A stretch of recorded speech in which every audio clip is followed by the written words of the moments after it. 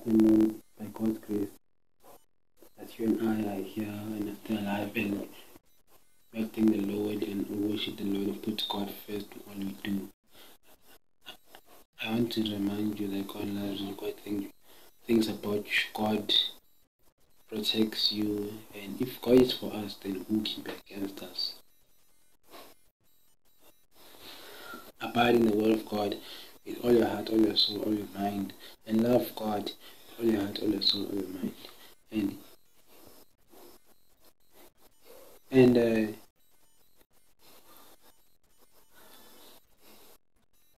and uh, um, put God first in all you do, as you and I were wonderfully and fearfully made by God, and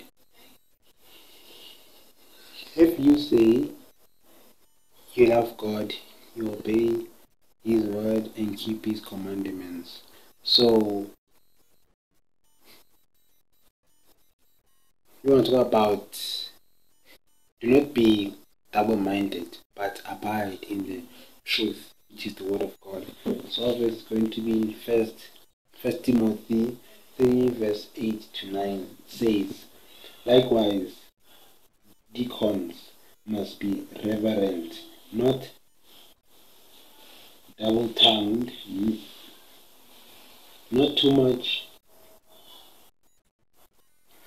not given too much wine, not greedy for money, holding the mystery of faith with a pure conscience.